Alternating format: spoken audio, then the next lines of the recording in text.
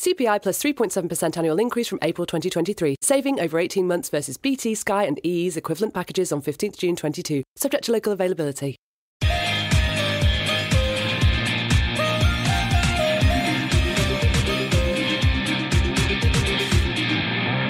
I'm not sure whether to start this podcast with a chant of three letters, a bit of uh, Bruce Springsteen, or uh, some other American stereotype that you wish to insert here. But I get the sense that we're going to be talking a lot about the US of A in this week's Pinkun.com Norwich City podcast. Thank you very much for joining us. Uh, I'm Connor Southwell, joined by Paddy Davitt to dissect uh, Norwich City's Friday night victory over Millwall. We'll also um, reflect on what was a, a relatively big week for Norwich at Carrow Road. They got six points maximum uh, that the, they could have got out of those two games. It does feel like their championship campaign is well and truly up and running at long last. Um, and we're going to get into all of that now. Um, of course, this podcast is brought to you in association with Future Radio. You can listen to the show on Tuesday evenings uh, via their uh, via their station on your on your radio, I suppose, if you uh, if you prefer to consume the show that way. Um, Paddy, we, we we spoke and we ended last week's podcast by kind of talking about what a successful week would look like for Norwich City. I think you said four points. They took six. That's about as good as it. Well, it is as good as it could have got, really, isn't it? Yeah, I'm pretty sure. I said four would be the minimum they they needed to aim for, but I wouldn't have I wouldn't have necessarily bookmarked that as a success, but fair play. Um, that's what it turned out to be, and and particularly the, the, Millwall game, I thought the manner of that, you know, Huddersfield looking back now, obviously, um, got a little bit tense towards the end when they were 2 0 up against 10 men for effectively 40 odd minutes, you know, to concede the, the sloppy goal they did. Um, and then off the back of obviously the first three league games where they hadn't managed to get that first elusive league win, that that felt a little bit bumpier. But Millwall was. I've seen a few people now since Friday night, social media wise, saying that that did feel like a bit of a watershed in terms of obviously the, the result, the clean sheet as well. Worth note, noting that as well, given one or two of those fairly calamitous individual defensive errors we'd seen in the previous three or four games. But just the general sense of um, and again, this is something that's been thrown at Smith and his coaches since they walked through the door. You know, what is a Dean Smith Norwich side? What what what they're trying to do in possession primarily at the top end of the pitch? Um, what's the structure? You know, and what are the demands placed on the players? I thought we saw more evidence of that again. You know, ultimately, a, coach who trusts Kieran Dowell Todd Cantwell, yes, I know he didn't start the other night, but he has to has done hitherto, and Danel Sinani is a coach who really wants his teams to play with the ball and be very good with the ball. Throw Marcelino Nunez into that equation as well now.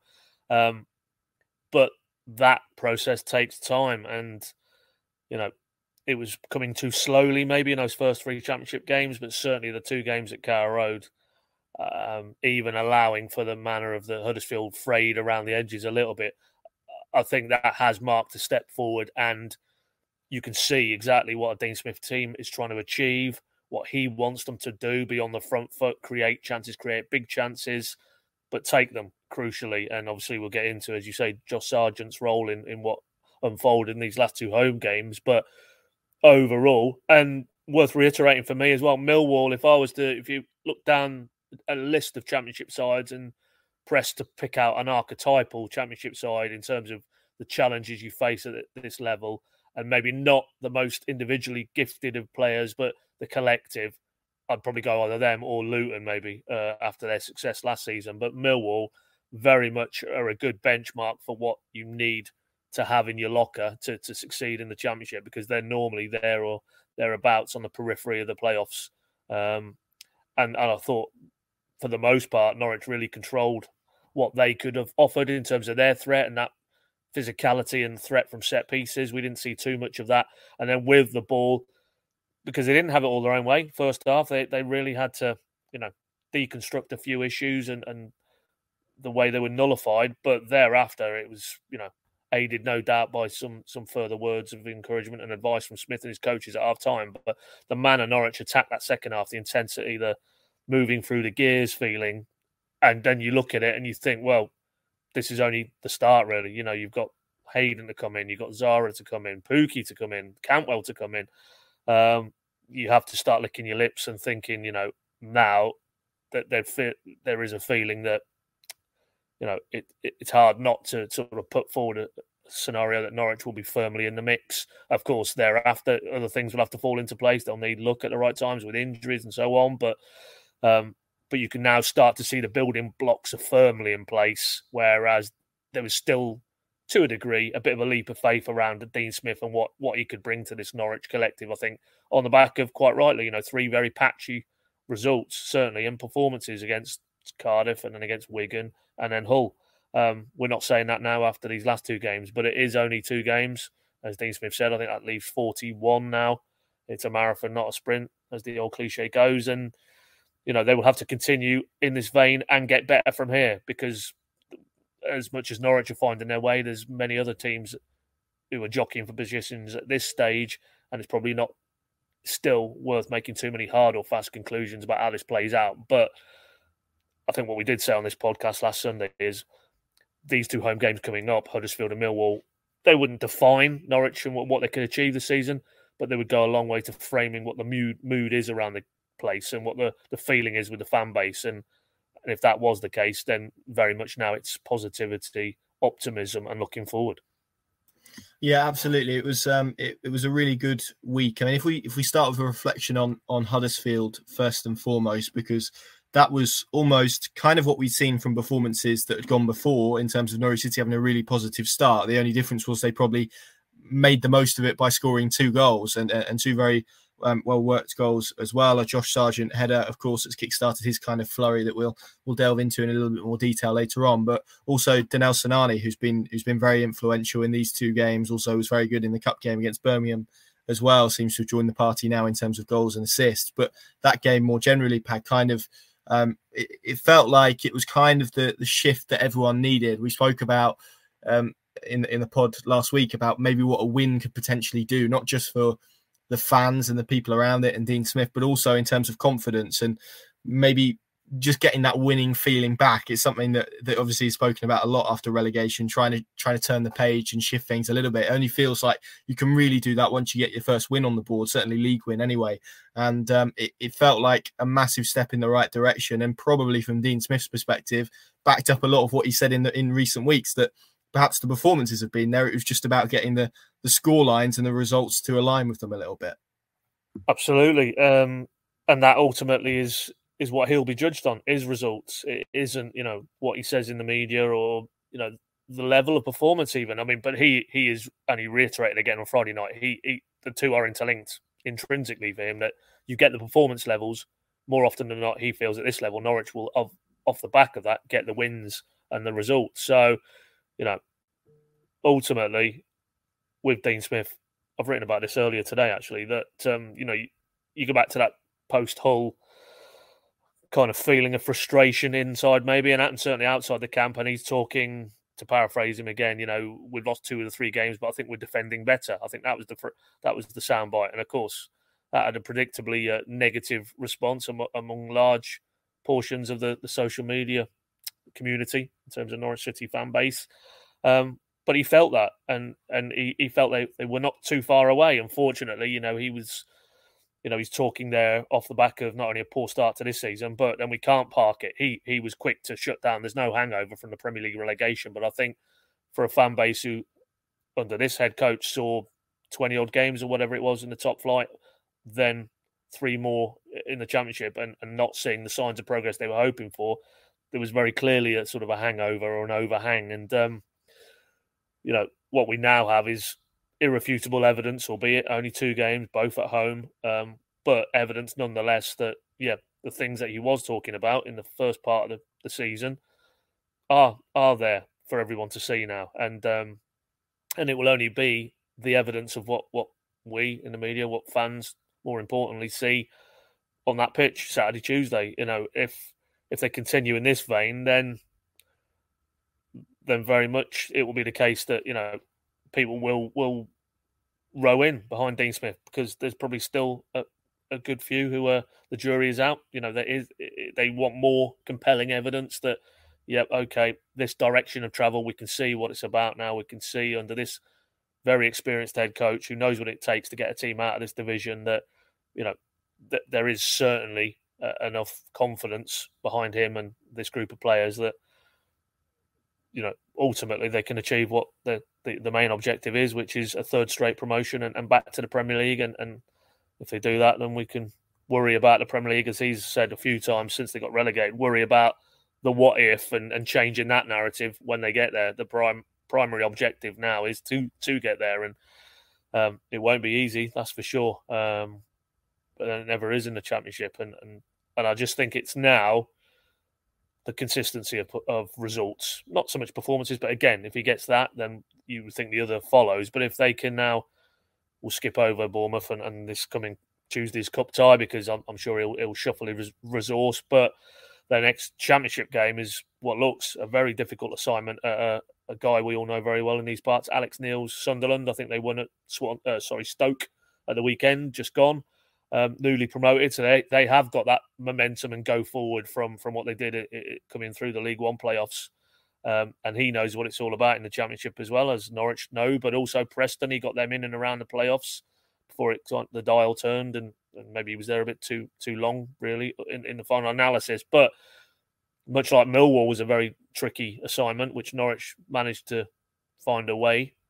They will, will be presented with a similar challenge, and of course, the difference being, you know, there'll be a pretty close to a full house, I think, because I did see reports there that, as we know, their fan base is um, very large, and and they, they clearly feel again talking about connections or reconnections with clubs. They've had difficult times to enjoy that fan base, but they obviously feel Neil is building something there, so that will be a, a very intimidating atmosphere this this time. Well, next Saturday morning, isn't it? Lunchtime kickoff. So, yeah, let's you know if if the next pod we record after this one is post Sunderland and we're talking uh, about a continuation of a theme from the two home games, then yeah, I think even even more people will start to be convinced that Dean Smith is the man to uh, to take Norwich to where we all hope they're going to be, and that's back in the Premier League. But um, it needed to happen. It definitely needed to happen, and and the fact that it happened at Carrow Road as well, where you've got twenty two odd thousand home fans, they they're not daft. They they've seen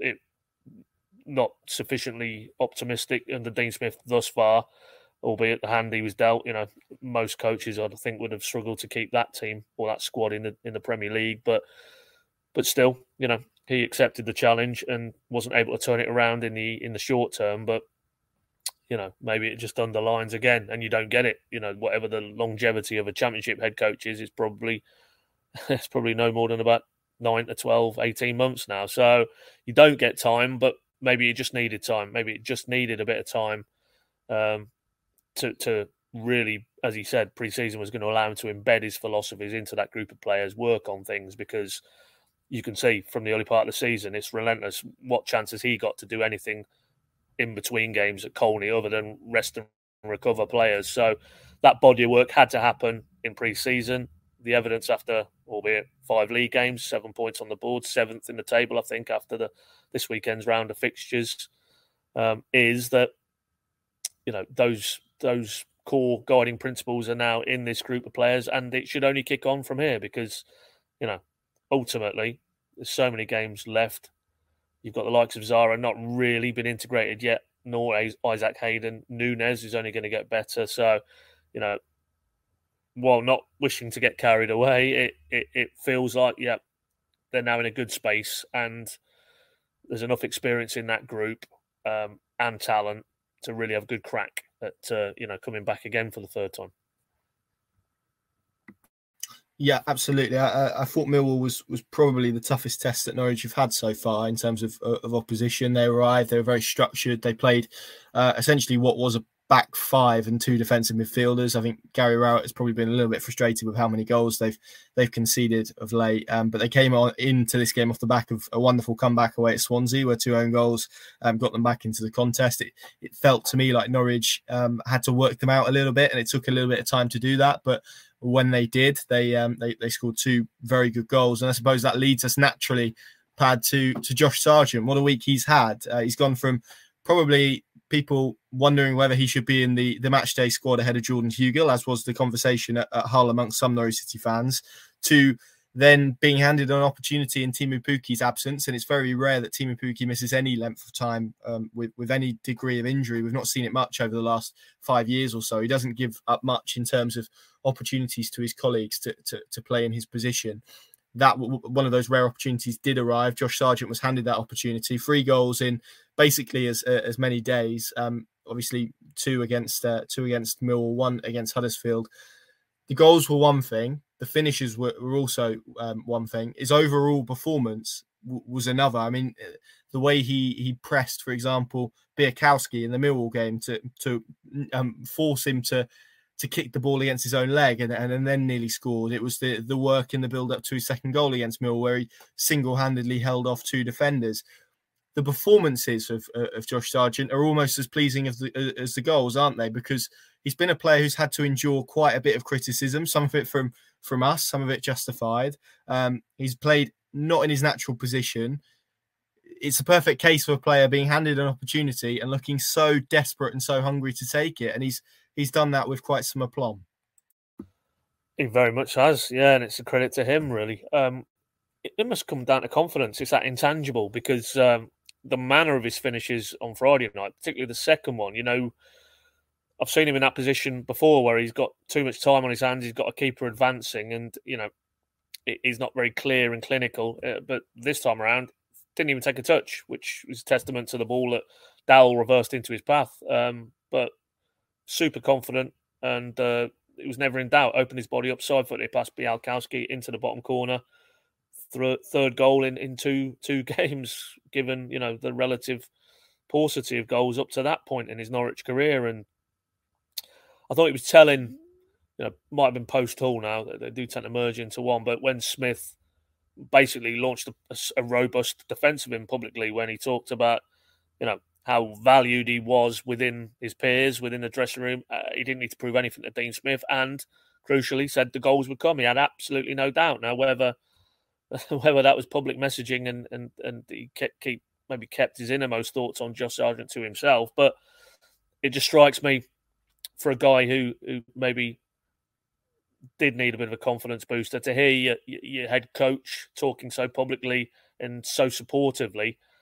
Of course, then at that point he hadn't had the opportunity afforded to him by this injury to Teemu, but you know that that would have given him a massive boost. And I think you were at the the, the pre-match for Millwall the other day, and then Dean Smith also talk in terms of it, he's the type of player in terms of man managing Sargent that he, he wants that communication channel. He wants to be, you know, have that dialogue and, and maybe be left in no doubt. And maybe that's a product of coming through from his background from from sort of US sports and you know very heavily, you know, type of player who who wants to understand his game, wants to understand where he can get better, needs that feedback from the people who matter, and you know that comes down to you know Dean Smith and and understanding which players need that approach and maybe others respond a bit better to maybe more, you know, the stick rather than the carrot, as it were, to use that sort of phrase. But there's no doubt about it. He he looks a different player completely in terms of a goal threat, primarily. I mean, we, we, we saw the athleticism and the the work rate and the prodigious work rate when he's been operating in that wider right hand side. Um, but what he's added in these last two games is just, you know, being in opportunities being sorry in, in areas of the pitch to get goal scoring opportunities, but taking them. And you know, it, it seems a bit of a throwaway line to say maybe that just doesn't come down to confidence, but but it, it, you can't underestimate it because now ultimately Teemu Pukki looks like he has some serious competition, and I don't think anybody would have felt looking at the options at Dean Smith's disposal that Josh Sargent would be the one. I think me personally probably thought Adam Idah off the back of what he did before injury intervened in the Premier League fertile period on Smith when they beat Everton and, and won at Watford. The game, obviously, where Sargent scored his two goals um, at Premier League level. But no, it's um, you know it's Josh Sargent who's pushed himself firmly forward, and uh, that's a really interesting dynamic now. Dean Smith said after the game on Friday night, you know, now he's got now he's got to go away and work out with his coaches how you can accommodate Pukki and Sargent, and and and both give them the platform to you know, be able to score goals in in the quantities you feel they're capable of doing now in the championship. That's a bit of a conundrum because uh, you know if that if that it feels now it would be a retrograde step to take Josh Sargent out of that central pivoted position at the top end of the pitch and then shift him again to the to the wide area. So that there's an intriguing element there to that about how do you do that.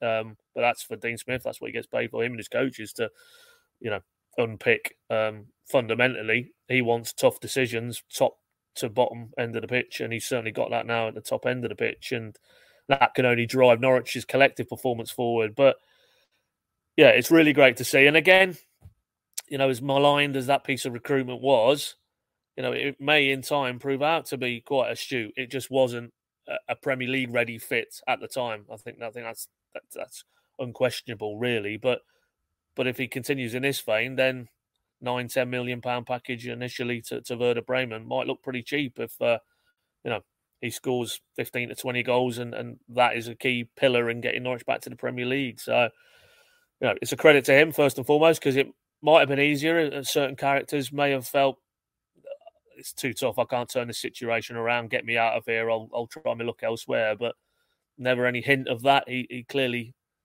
the character of the of the guy uh, is matched by his you know his appetite to to get better, to improve, to to to work hard, and and ultimately all that was missing, I, I guess, was the goals.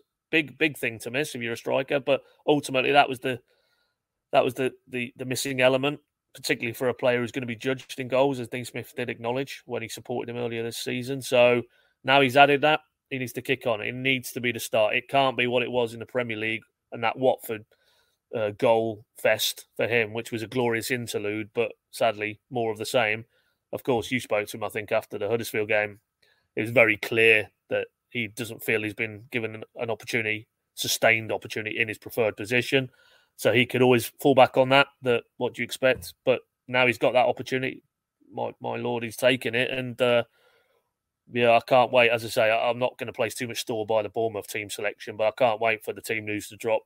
Uh, subject to no injury issues between now and then at Sunderland on Saturday morning, and we'll see how he's how he's accommodated Pukki and Sargent because uh, I'm not quite sure how that works at the minute. But um, but great problem to have, and uh, you know if that and also we've not talked about it in this segment, but if that then drives on Teemu Pukki, who hasn't really hit his straps yet so far this season, there was all of that in the summer about you know he'd ideally like to stay in the Premier League and have an opportunity there. Well, we're closing in on two weeks left of the transfer window. There's nothing to suggest that situation will change. So if the window comes and goes, Teemu Pukki's still in the building, then let let battle commence. I would say. Yeah, absolutely. It's it's, it's going to be really interesting. Obviously, we've got the cup game against Bournemouth on Tuesday night. I think we'd expect Teemu Pukki to play in that. If he then goes and produces a performance of his own, then Dean Smith really does have a decision to make um, as we head to the, the Stadium of Light next weekend. But uh, uh as Paddy says, that is why he gets paid the money he does to make the decisions that he does. And, and I, I kind of put it to him uh, before the Millwall game at the press conference how uh, I think Josh Sargent um, hadn't played it, or maybe I think he played it as a lone striker against Charlton in the cup, but beyond that, hadn't played as a striker at all under Dean Smith. Hadn't played in a two or or a one. Um, so this has probably been uh, an interesting week for for Dean Smith to really assess Josh Sargent as a as a lone striker. He obviously played there in pre-season a little bit. Uh, he started there against Marseille from memory. Um, but I mean, the, the two finishes, if we look at the Millwall game pad in terms of the first one, which is a, nice bit of combination with Danel Sinani, comes from Kieran Dow, kind of breaking the lines with a, a really good run. Um, it was almost Teemu Pukki esque, really, in terms of the run and getting onto the ball, and the finish was so emphatic. The second one, as we spoke about before, comes from well, it's just rewards really from his own hard work because it's a, a, a relatively um, well, it's, it's, a it's a clearance from Andrew Omobamidele. It bounces. He, he holds. I think it's it's Malone and um, Murray. I want to say the the two mill defenders. Uh, Gary there you go, there we go. Um, Gary Rowett felt it was a foul. I must say I didn't see that particularly myself. Um, Kieran Dowling then gets beyond the ball. Josh Sargent is is then absolutely bursting to get into the box. Lovely ball from Dow, uh, and the finish is just um, well probably suggests a player who is who is flowing with confidence at this moment in time. Um, and then obviously on, on Tuesday night it was a header, a flicked header from from a Sinani cross. So all different types of goals, all emphatic finishes. But the two um, on Friday night, Pad were, were kind of, of, of his own making to an extent. The first one, as I said, was was a one-two essentially with Sinani on the edge.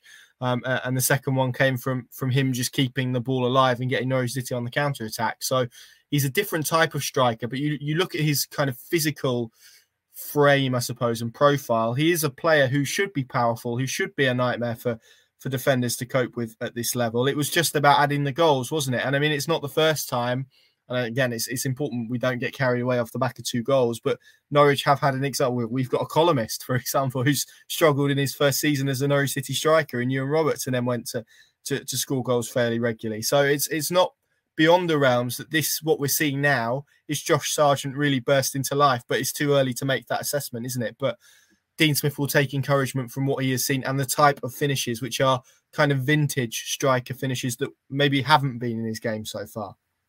Well, they haven't. No, really. I mean, ultimately, I'll go back to, you know, I mean, funny enough, it's pertinent because it's Bournemouth again in the League Cup, but it was last season that him and and uh, they they enjoyed themselves against the Cherries at, this stage of that season. But other than that, you know, it was kind of a tale of woe, culminating in that glaring Brighton miss, if you recall, in front of the Barclay in that Premier League game when he just had to roll it in to, to, contrast with a player who's now full of confidence. You know, if he'd have had that opportunity uh, in the last couple of games, I think we know uh, he's celebrating again with his trademark uh, salute. So I think it is worth just a note of caution that you know this is very much a step down from Premier League opposition and Premier League defenders. Um, irrespective of quite rightly not being played down the middle too often, if ever, at Premier League level, certainly not from the start of game. So you know, we have to bear that in mind in terms of where he goes from now. But you know, ultimately, he does look at this level against championship defenders and defenses a real, real handful. And um, you know, his athleticism is and his size. You know, you saw you saw how well he climbed above his marker for that Huddersfield goal to to just divert Sinani's in swinging cross. You know, a real, real number nines type of goal and I thought it was an interesting point Dean Smith did make in terms of you contrast the, the, games of a uh, Teemu Pukki and Josh Sargent.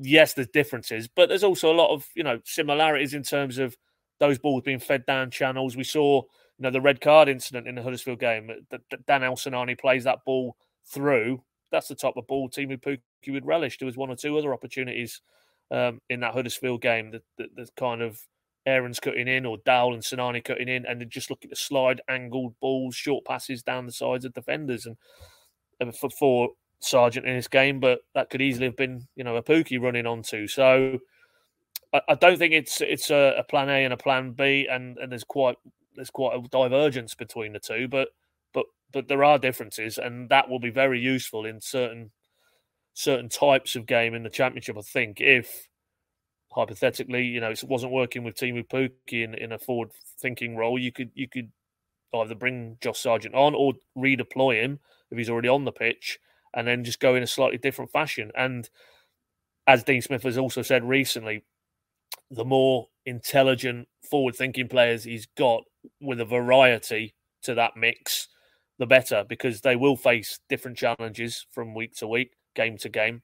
Um, and what works against Huddersfield and, and, Millwall might not necessarily work against Sunderland, for example. So um, it's just it's just a wonderful scenario now for Dean Smith because ultimately, as we all know, you know, you can you can put a structure in place and and the, the work you do against the ball is one thing, but if Norwich are going to really fight this out at the top end of the table, they need to score goals and plenty of them. They need to be creating chances, and they need players who can take those chances. And um, again, small sample though it is, but after two two championship home games, Josh Sargent is very much a goal threat. And we've not even really mentioned him, Adam Idah, yet to come back into this equation as well. Um, a player who, through no fault of his own, really, has, has, has sort of been put to the margins. Um, but prior to, a little bit like we've seen now with Dean Smith and the faith he's placed in Josh Sargent, that was Adam Idah around January, February of this year, um, in terms of a player who from his point of view, must have felt I've now got a coach who trusts me to start games and really put the pressure on Teemu Pukki. And if you've got Pukki, Sargent, and Idah, um, all really vying for, for for being the main man this season, then you know I don't think there's another championship side who could boast that kind kind of potential firepower. Not the one I can immediately think of, um, and that will give Norwich the edge over what is still forty odd plus league games. So, um, yeah, it's it's it's a really. I mean, I, I, can't wait to see. As I say, that Sunderland team sheet. If Pukki's fit, if Sargent's fit, um, and the way he goes, because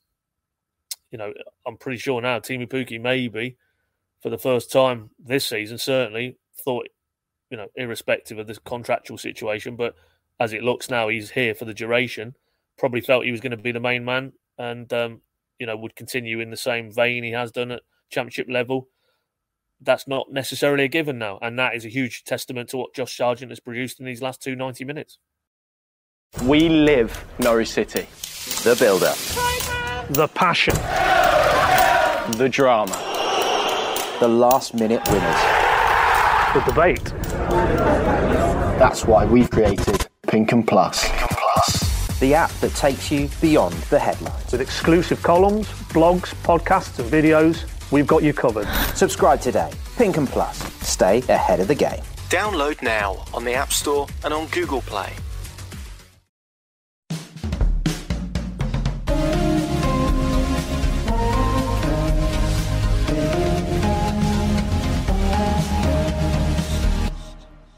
There, there is a, a, I suppose there, there will be somewhere a school of thought. This isn't necessarily my view. I'm just asking the question before maybe people shout at me. But there will be people who, who look at Josh Sargent, look at the transfer fee that Norwich City paid for him, and go, "Well, isn't this what he's supposed to be doing?" Particularly at this level, he was signed as a, as you said earlier, Premier League option. Um, he scored two goals or three goals in in the championship so far. That's probably the expectation, isn't it? Given the the fee Norwich paid, as I said, the reputation that he had when he arrived. He's a, a, an American international, and I guess the, the second part of that question is: Is he merely scoring goals because of the quality, the, the lower quality in the championship, or is it an improvement in his performances? Is it a combination of the two? Does it even matter? I, I guess is, is probably the question. Uh, not not for the moment, because to draw a parallel with what Smith uh, is saying when anybody wants to talk to him about the what if of a Premier League cycle, we're not there. So it's an irrelevance basically to discuss anything at this stage relevant to Norwich being back in the Premier League until they're back in the Premier League. So I guess that you could part that in terms of Sargent and Willie, if that was to come to pass over these next few months and this time next year they're back in the Premier League, Willie actually step forward um, and and score goals and look like a Premier League goal scorer then we'll, we'll, find out in due course. But in the here and now, he does look like a championship goal scorer. Um, and yes, it's it is fair to say you pay that amount of money relative for Norwich and their financial means. You do expect a goal return, but then you look at he wasn't prolific for Werder Bremen, and um, and I'd also, you know, I would caution that this is, and I've just double checked, twenty two year old striker, twenty two. I mean, he's feasibly five years from his peak. You know, you contrast him with the age of Teemu Pukki and, and what age he was when he arrived at Carrow Road and the experiences that he'd had in terms of his footballing journey. Um, Josh Sargent is learning on the job still. And and I know to counter that point you, you make there, Connor, at, at nine, ten million pounds, then you, you would expect him to to be uh, you know be a bit more of the finished article. But you know maybe as I say, and we've looked at this in depth in terms of that summer transfer window wasn't really fit for purpose going back into the Premier League last summer. And maybe part of that in terms of Sargent was the the dial in terms of potential and end product, maybe on reflection was a bit further tipped towards potential and than Norwich maybe themselves expected. Um, and that we're only now beginning to see um, maybe less of the potential and more of the end product and and productivity moving forward. So, you know, it's it's fundamentally um, what they paid for the guy, and and you know in the current climate, you see some of the sums. I mean, Gibbs White did that deal go through uh, in the last few days from Wolves to to uh, where's he gone to? Forest, yeah, Forest. Yeah, yeah, yeah. I'll, I'll, lose track if it's not Norwich. I'm not interested, mate, in the Premier League. but I mean, the sums that they're talking relevant relevant to that deal, then nine to ten million for Josh Sargent is you know, pretty small beer, as, as, as ridiculous as that says, so sounds. So the reality is, if he if he weighs in with those fifteen to twenty goals in a, a promotion winning side, then that will look very good value because you would think, given as I say, you know, time is on his side and his best years are ahead of him, that he's only going to get better. And and it, maybe it did take, as we discussed, you know, about players who need a season maybe to adjust. You know, I I know that it, it's not the same in terms of the finances, but look at Stiepermann, look at Vrancic in, in recent times. They needed a, a, season, albeit at championship level, to really understand what the demands were and how they needed to adapt their game, maybe to, to have that real effectiveness. Um, and maybe this is the same process Josh, Josh Sargent has embarked upon. But um, yeah, in terms of will he make the grade at Premier League level, that aspect of it, then we, we can't really say definitively because certainly on the evidence of what what we saw from him at Premier League level last season, the answer would be no. But then he would shoot back. Well, you didn't play me in my my my, my preferred position, so that is fair. That is fair comment. But you know, let's just hope we're not jinx this now because this segment has talked quite a lot about Josh Sargent is now on the up and up. I hope we're not turning round in November and he hasn't added to his goal tally because then I'll be blaming you, Connor. Uh, yeah, so will I. Um, he, he he has he likes Friday nights. I think we've we've made that perfectly clear as well. Um, it was it was Friday night when he scored the two goals against um, Watford. It was the, the, the Friday night, obviously, that he scored two goals against Millwall. So if Norwich play on Friday night every uh, every week, then they'll be they'll be laughing with with, with Josh Sargent. Um, I, I, did speak to him after after the win on Tuesday against Huddersfield, and I, I put a question to him, which was essentially along the lines of what's it been like to play in a position on the right hand side where you've essentially been putting the team's interest ahead of your own sort of personal development, I suppose was was the, the question, maybe framed in a slightly different way.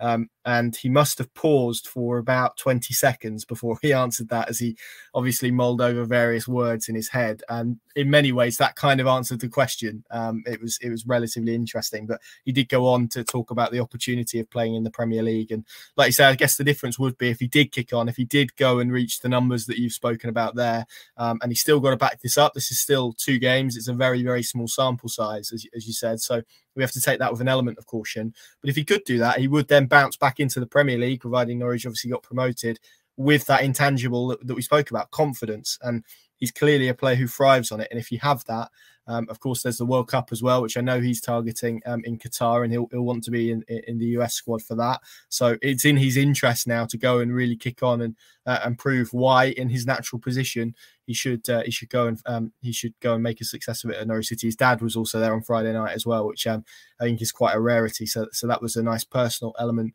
for him. And if we stay on the American theme pad, um, it, we kind of got wind that it was going to be um, the way that it panned out with with Mark Attanasio and the announcement um, that came, I think, four o'clock on, on the day of the game. No coincidence that that was released at that point. I would suggest in order to to get people lifted. Um, I, I, think we we said before kickoff it, it, just needed a Josh Sargent goal or two and an Norwich City win to cap off a fine day. That's kind of what happened. I mean, we we've kind of, uh, as we said, we we broke this story in May. It was late May, wasn't it? Um, a week after the end of the Premier League season against Spurs, we had the, the picture of Attanasio and his seven strong delegation um, across from Milwaukee, um, who took in that game against Tottenham Hotspur on the final day of the season. It's been a little bit quiet since then, but uh, not behind the scenes. The talks have been ongoing. They were at an advanced stage, obviously, when he when he came across to Carrow Road. Now, seemingly a deal for him to um, become a shareholder and, and and take Michael Foulger's shares. Certainly, initially. Um, has been agreed because Norwich City have now announced formally that they'll hold a meeting uh, of shareholders on the 12th of September. Uh, they're encouraging people to vote by proxy, um, and that is to um, uh, allow Mark Attanasio to join the board as a director. He would become their fifth. I think they've currently only got um, is it four on the board or five on the board? I'm not sure. I might, I'll, I'll count in a second. Um, but that essentially would need, I think, Delia Smith and Michael Wynne Jones to uh, to vote through um, the motion. So it's going to happen. Mark Attanasio is going to be a director of Norwich City. It's a, a significant moment, really, in, in, the club's recent history, Pad, because it's the first time that new um, kind of minority shareholding has happened since the Turners in what about 2007. Um, that, that, that kind of took pass. Um, we're still waiting for confirmation in terms of what that looks like but a, a really significant moment, as I said, for, for Norwich City and Norwich City's recent um, recent history because it is a, a wealthy American businessman joining the board in probably after years and years of debate about whether Norwich City do need fresh investment. And I know everyone's very cautious to use the I word, um, but that is the question that Norwich City fans will be asking. Uh, quite rightly, because as we said, as we have said at various points, but we said it in this the, the debate pre-match Friday. You know, this isn't the end of the story. This feels like the start of the story, and quite an elongated start. But but for reasons you've mapped out there, you know, there is a process. There's lots of stakeholders involved, and it's no real surprise that you know it has taken this to this point seemingly before um, you know Mark Attanasio, barring any unforeseen late twist between now and that shareholder meeting on September the 12th, I think, who will be elected to the Norwich City board. But it's the what next. Um, you know, Dean Smith was asked directly. That was his first public utterance on it after the game Friday. Wanted to bat it up to upstairs to to, to those who are dealing with this in terms of it's one for the club's hierarchy, really, to talk about it in any great depth. But um, but felt it was an exciting development. Essentially, wanting to paraphrase what he said, and and it is. Uh, there's no doubt about it. But it's what the story is from here on in. I think rather than confirmation of what we've felt was going to be the case anyway. You know, what does a, a gentleman who reputedly is worth seven hundred million dollars um, and has been the principal owner of a massive baseball franchise in the Milwaukee Brewers. I think he's got. I think he's got a share in another sporting entity over there as well. I'm going to say. I want to say ice hockey, isn't it? Yeah, it is ice hockey. So, you know, we might have to actually now. Just thinking out loud, here, Connor, we might have just have to look at because the, there's a parallel there between the ice hockey sort of shareholding, if, if it's of the minor variety, and, and what his impact has been with that really, and and where uh, are, is there anything in terms of extending his reach in that organisation as well? Because that is very clearly the situation we're going to have with Norwich. That he isn't beyond the Foulger shareholding at this stage going to have any any direct power to change tack or, or take the club in a, different direction. I don't think he would anyway. Clearly, you know his values. If you look at what he's what he's done, the longevity that he's been 16, 17 years, he's been with the Brewers. That that family community ethos, which you keep hearing about, um, that that aligns very much with Delia and Michael. So I, I don't see a radical departure uh, at any point, um, but certainly not in the in the interim. Um, but you know, it's what it means in terms of. I think for me, it's more the mid to longer term. I I don't think it's inevitable to think this guy's coming in. Look at the money he's got. Does this mean Dean Smith and Stuart Webber are going to be flush in the January transfer window? I don't see that link at all. I, I see this as a much more about a the beginning of a relationship and and a getting to know you phase for both parties. You know, he'll want to come in and look at Norwich City's inner workings from the inside, um, and likewise the ownership and, and the other directors and, and the shareholders. They'll want to see if you know what this what this means in terms of the direction of the club, and is this an individual uh, that they can work with and they can see a path to what does feel like you know a bit of a, a turning of the dial, given you know, given the age of of the current owners. Um, there does need to be a succession plan there, uh, and we wait to see how this maps out and the speed. Probably that's the most important element. I think we all feel probably eh, there is there is a, a, a, the beginnings of a path that could see ultimately Attanasio, you know, replace the the current owners as the majority shareholders.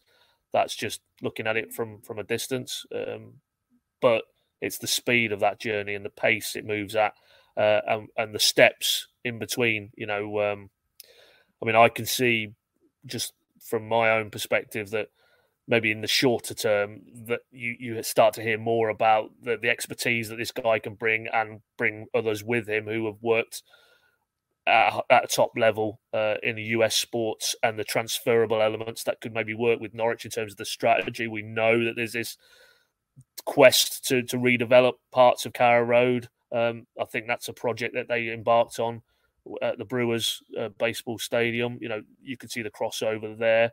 Um, very complex type of, of infrastructure projects. If if they have got that expertise, they could tap into. But fundamentally, it, if as it feels that this is the start of something that could lead to this guy um, taking firmer control or, or increasing his shareholding, then what's that with a view to? You know, I, I did see actually, I hadn't noticed up until now, but there is a, a Milwaukee, Wisconsin. There's another Wisconsin sports impresario who is the majority shareholder at Villa. I'm going to say his name is Wes Burns, I think. So you can be pretty sure that those two characters will be um, no stranger to each other, and, and I'm sure, you know, looking at how that guy's essentially now taking control at Villa, you know, we've seen evidence of what's happened at Leeds with a, a San Francisco 49ers affiliate uh, body go into Leeds in a minority capacity and now have seemingly engineered position where they're going to take control of Leeds and, and ownership of Elland Road. You know, that's even before you get into the you know the American ownership at United, at Liverpool, and and and Chelsea now. I mean, it is it is all the rage, and Norwich are uh, potentially because ultimately we're getting carried away with the what ifs and scenario planning. Potentially, that could be the beginning of a journey for Norwich. Um, but first and foremost, as it stands, it's to elect a guy to a board who will take Michael Foulger's shareholding, and as a result, there's not going to be a radical overnight shift in in what Norwich City are about. Um, the financial picture, I don't think that's going to immediately change. So, you know, we probably need to dial down the sense that it, it it's going to be an immediate change, of course, or, or uh, you know, a different way of doing things. I don't see that. I see, if anything, it'd be just a, a reaffirmation of continuity and evolution in the shorter term. But you know, quite clearly, we've said it many a time. A guy who's worth seven hundred million dollars, who's shown no discernible, I can see, interest in soccer before, and probably doesn't have too much of a connection to Norwich, Norfolk, or the UK for that matter. What is the attraction? You know, it, I don't see it as. Um, I just fancy coming to watch a game or two at Carrow Road and uh, you know maybe taking a place on the board. Um, but you know, ultimately that's where it will be in the interim uh, from the here and the now if there's no issues and this uh, this ratification process is completed on, on um, September the 12th.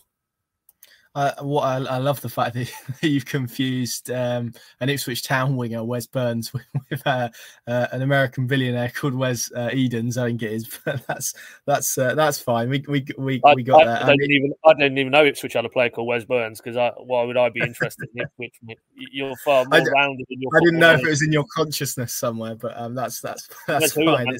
Wes Hoolahan's the only footballer I know, mate. There you go. There you go. Um, yeah, I was just I was just looking as you were speaking there. So he's he's a part owner part owner, sorry, of the Milwaukee Admirals, who are the, the ice hockey team. He has been since 2005, from what I can see.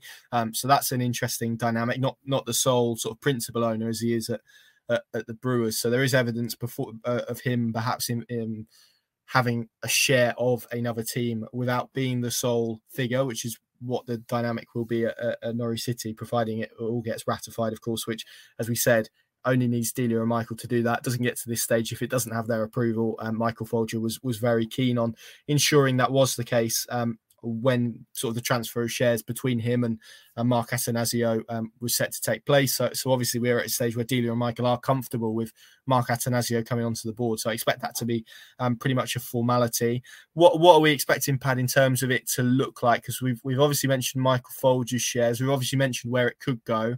Are we expecting him to um, maybe arrive at the club with perhaps a higher percentage of, of shares than is being discussed at the moment? Are we, are we just looking at Michael Foulger's shares? Because I know there have been there have been various whispers around him perhaps increasing his his shareholding already, even at this stage, and and, and looking to maybe push it above the 20% mark. Obviously, I think it's the 30% mark that he would then essentially have to go to all of the other shareholders and make an offer for their shares. Um, that's his just a, a, rule, I think, unless we've we've got that wrong. But I think that was the case when I looked into it before. Um, what we expecting the dynamic to look like first and foremost in terms of him, but then also what does it do to the dynamic of Norwich City's boardroom? Because ultimately now, uh, and we know the conversations that are going to take place when they get to the Premier League, it is going to be a shift in terms of the way that they communicate how they operate because it's always been about self-financing well actually people and supporters are now going to see a guy worth a reported 700 million dollars um, on the board. It does change the dynamic of that particular conversation as well. It does and and as a club the, the messaging around that will have to be very um, very precise and um, you know very clear that that certainly in the interim, and, and that's you know, worth reiterating, it's a transfer of shares between one individual and uh, another individual uh, or a family, the Foulger family. So that's essentially it. But I mean, we obviously had the pictures of him sat there uh, a seat or two away with his family and, and other members of the Brewers organisation and a, another personal friend from the finance world in that Tottenham game, but two or three rows away from Delia and Michael. So I think the personal chemistry element of this is the fascinating aspect. Um, and as I said uh, in a previous response, you know, you, you don't need to have an intimate knowledge of of him as a as an owner of that baseball club, but the longevity and and and the the fact that you know you I think you just go on the Brewers official website. I think there's a there's a page there, the mission statement or the core uh, abiding values. You could be reading it down um, and thinking this this I'm on Norwich City's website. You know, they talk about that how intrinsic the community element is to what they do, and being rooted in a community and and engaging with their fan base. Um, and that almost all more organic, wholesome, you know, approach to owning a sporting enterprise, be it that side of the pond or over here. All of that chimes um, with you know Norwich's majority shareholders, and uh, you know quite clearly they will feel that they're on the same page. But and this is this is the crux of the matter for for for where we go from here.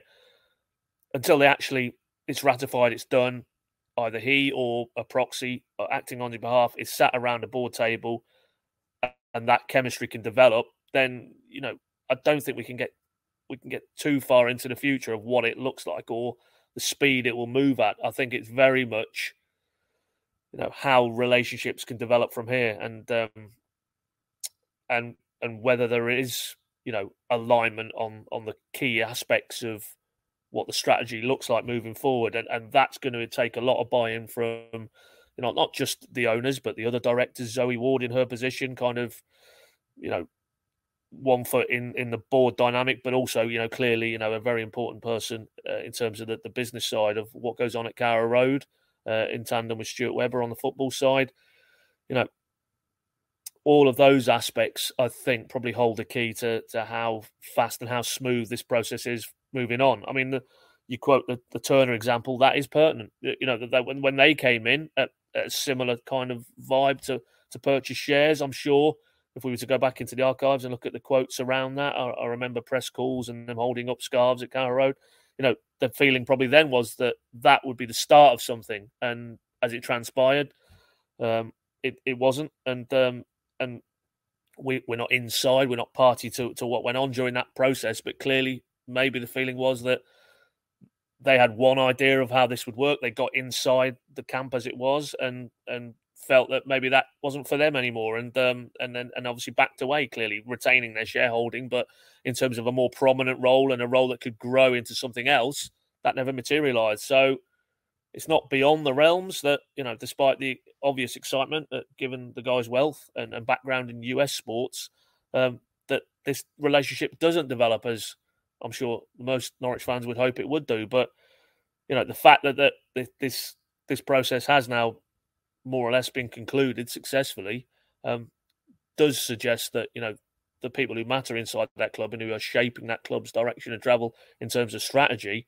are giving serious thought to the mid to longer term and and what Norwich City looks like for future generations, which Adelia and Michael have always said they're caretakers, they're custodians, whatever label um, they're not owners. They're they're essentially they deem their role to be passing on this club to whoever or whatever comes next in a healthier state than they inherited it. And Stuart Webber has trumpeted the same mantra in terms of his uh, area of expertise that that the club that they pass on is in a better health uh, uh, uh than the one they inherited, and and that's ultimately um, what they will be judged by fundamentally. So uh, yeah, it's an exciting development but it's way too early uh, uh, to you know to extrapolate that Norwich are now going to be I don't know um, cash rich.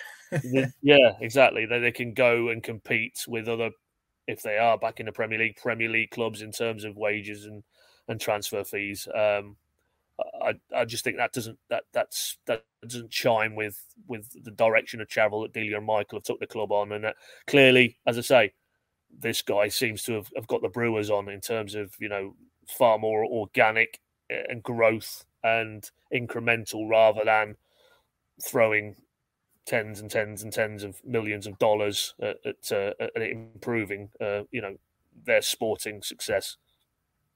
Yeah, and and what what again another interesting dynamic to it is exactly how it works because Delia and Michael have made a point of being very visible owners, very very or try and be very accountable owners. They're always at games, they're always present. You can always see them. That isn't the case um, with with a lot of football clubs and a lot of football clubs owners, and and you've got that dynamic now seemingly with someone who's going to be a few hundred miles away, who isn't going to be at every game, who isn't going to be as visible. That's that's going to be interesting to see how that pays, um, how that how that pans out. He's obviously going to um, be given a vote as well in, in terms of board meetings. That's another interesting dynamic. It's a different voice from a different area, different expertise, as we spoke about.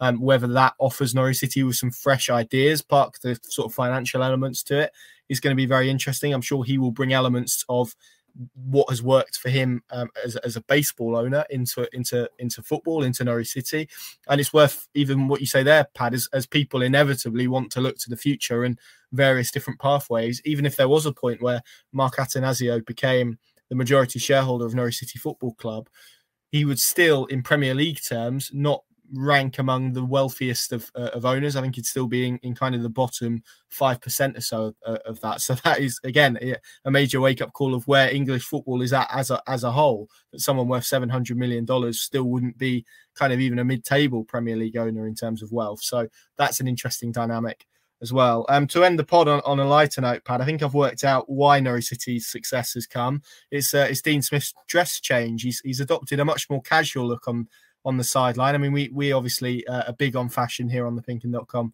Norwich City podcast. Um, it, it, seems to have worked for me. I don't know if he's a man of superstition, but he tried it for Huddersfield. Obviously, got a good result, and he tried the same for Friday night. So I'm expecting to see Dino looking more casual in, in, in the weeks ahead, right?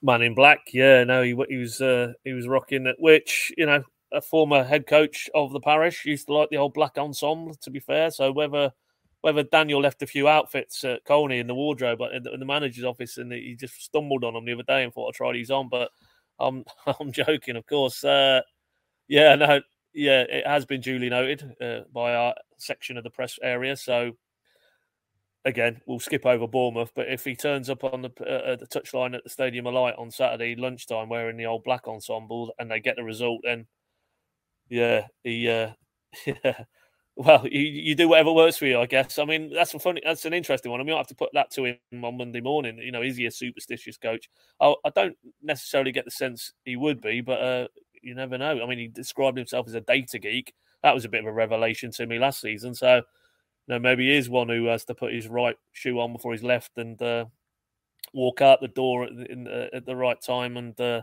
get in his car and put the keys in in the same sequential order. I don't know. I don't see it, but uh, hey ho, anything that works and produces results, then uh, let's let's continue on that theme. I uh, yeah, funny cool. we were you know last last week when we recorded, uh, we had the it was Tony, wasn't it? Tony the fan yeah. uh, from from the Dereham area. We said like prior to these two home games, if they if they won both and got the six points, then you're probably the lucky talisman. So if this goes horrendously wrong this coming week, we might have to get Tony back on again because it's obviously Tony is the superstition, not Dean's dress sense. Absolutely. Um, just to, to finish with a couple of of kind of um, well notices, I suppose. Um, report in the Scottish Sun, I believe today, which is quite a random place for it to pop up. Suggest and this is Sunday as we're recording this. I, I should specify, suggesting that Manchester. Anytime you mention Manchester United, I think it's great with a giggle. But the Manchester United are, are potentially weighing up uh, Tim Krul as a, a, number two option behind David De Gea. Obviously, they lost uh, Dean Henderson on loan to to Forest um, in this transfer window. Um, given the, the scattergun approach of Manchester United, they'll probably sign a striker as their second goalkeeper, um, and Tim Krul may well end up as a as a centre forward uh, if that was to come to pass. Given given the state of their recruitment, there was also a report on on Friday which emerged literally, uh, or I saw it literally as Dean Smith was walking out of the press conference room, so I couldn't actually put him to it. Although I think um, it was put to him after the game, wasn't it, about uh, a couple of loan bids from from two Italian clubs, Monza and, uh, and Atalanta, uh, potentially making loan bids for Max Aarons alongside Borussia Mönchengladbach, of course, where Daniel Farke is at the moment. Um, and I think Dean Smith kind of rejected those out of hand, didn't he? Or say he wasn't aware of those, which is probably uh, a fairly standard response. I think in the, in a head coach, sporting director model, you can kind of back those questions away with a little bit more ease when when you're not the person directly dealing into those. But obviously, a couple of weeks left in the transfer window, so it's going to be interesting to see what unfolds um, around that. I, I, suppose Max Aarons is, is, probably the big one, isn't he? So we will watch that uh, with interest, of course. Um, if you haven't taken out a free trial for the Pink Un Plus, what are you doing? Come on, get get up to speed. Norwich City winning games, plenty of exclusive content over there, written video um, as well as uh, potentially some audio when, when the games calm down a bit as well. We're in a fairly relentless period, so um, we're hoping to revive the, the Monday Night Club pod special that we do on on there, for instance, um, very soon. So that's worth keeping an eye out for. As I said, pinkun.com tab in the top left it says Pink Un Plus. Click on that, and uh, you can you can uh, access all of that exclusive content. And uh, as I said, no better time to do it when the games are coming thick and fast. Paddy, thank you very much. Thank you very much for listening. The American dream is well and truly alive and kicking at Carrow Road for Norwich City. Let's see what the next week brings. Bournemouth in the cup, and we'll join you after Sunderland away. Hopefully, this week goes as well as last week did. Thank you very much for listening. See you soon.